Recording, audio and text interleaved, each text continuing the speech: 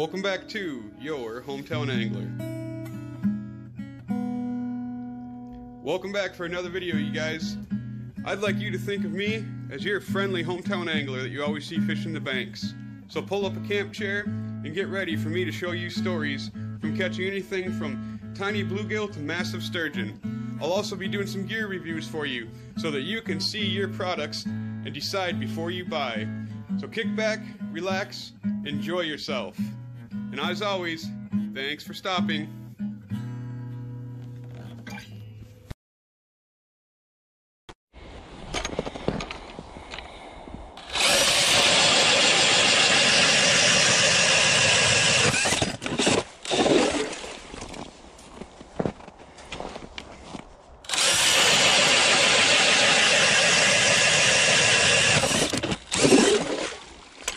Nice. Welcome back to the channel, everybody. So, I wanted to bring you guys back, show you my newest investment in ice fishing. Just picked up this clam drill plate. Before I was just using a kind of cheap adapter, and uh, it finally failed me, and it fell to the bottom of the lake now. Uh, the adapter didn't really fail me because it did come with a retaining plate, and uh, I had broke it and I just had, hadn't bought a new one. So it was my fault. And uh, I went to Fleet Farm to get a new cheap adapter with a retaining plate, and they didn't have any. All they had was the clam drill plate. So I did the old walk around Fleet Farm for an hour or two, and uh, just kidding, it didn't take that long. For a few minutes, and um, checked all the aisles, make sure they didn't have them, and they didn't. So finally came around and realized I was going to have to buy this uh, clam auger drill plate. So this is just a plate. It comes with an option to uh, get a six inch auger and an extension. I couldn't find the extensions or I would have grabbed one, but uh, I decided not to go with their auger either. I am going to put another Strikemaster Mora onto it. So you're probably asking, why didn't you just buy a K-drill? This is all just pretty much as expensive as a K-drill. And uh, the answer is I just didn't want to. I think the uh, clam plate is still uh, kind of a better idea. I like the trigger option on the handle, and um, the Mora auger is just uh, quite a bit more inexpensive than the K drill. So probably what would be more superior to this would be a Strikemaster light flight unit and the clam plate, but for now I'm just putting the Mora on there because they work great. So I got another 8 inch, and I'm going to go through the install with this with you guys, and then we're going to go out on the ice and test it out now. This says you can drill 700 inch device, and that's what I'm going to do for you guys. We're going to head out there and drill 700 inches. So, just kidding, but hopefully you guys will enjoy the content nonetheless, and you'll like, comment, subscribe. And as always, thanks for stopping.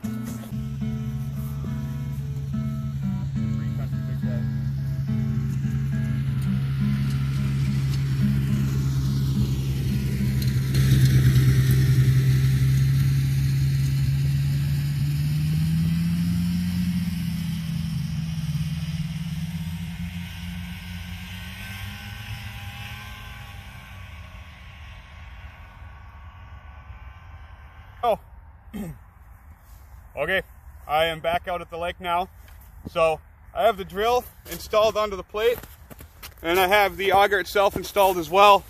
Now, the installation was very simple. If you're the type of person that can put a uh, entertainment stand or a nightstand together using the instructions, then you'll be able to do this. I am using the DeWalt DCD 999 with a 6 amp FlexVolt battery and uh, I'll just show you guys how this attaches. It's just got a attachment here that goes onto the auger and uh, that goes into a chuck at the top. And it's just got two retaining clips that hold it in. And then uh, to actually use the drill, it's got a, a paddle here that will manipulate the trigger.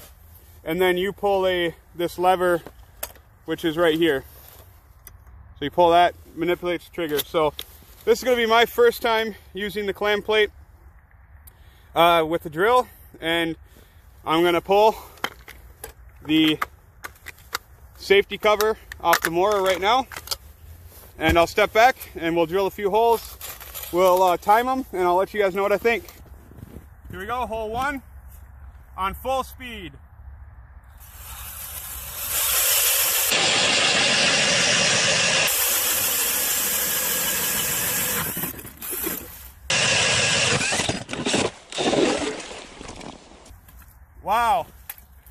that's a big improvement. One of the things that I noticed right away is that I'm a lot more confident with this. I'm not worried about the dropping that uh, auger down the hole as much as I was before. And uh, I'm definitely not worried about it spitting and breaking my wrist and my arm. So let's try another one.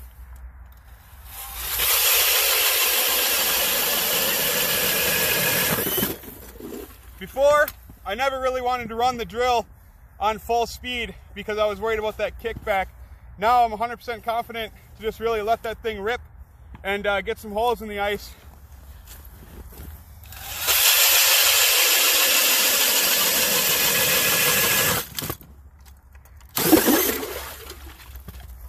Wow, what an improvement. So overall, I say that yes, this is a excellent investment. I should have just went with this in the first place and not been so stubborn and listened to a lot of my uh, subscribers and a lot of my Facebook friends on this one. So this is really an excellent investment. I would recommend it to anybody that wants to go this route. Um, if you're asking yourself why not just get an electric auger or a K-drill, I'd probably ask myself that same question. Um, the only thing I can think of is that you're like me and you like finicking around with stuff like this. So if you do, and uh, if you're looking at this setup, then go for it, pull the trigger. Especially if you could get yourself a used auger or if you could get yourself the auger and the plate used. That would probably be really good. Um, so don't shy away from on this unit. So if you guys have any questions, drop that in the comment box. And uh, if you like the content, please like, comment, subscribe. We're getting our subscriber count up there. I'm going to have the 100 subscriber giveaway happening soon. I know that uh, we're a little bit past the mark, so hopefully you guys will forgive me. And as always, thanks for stopping.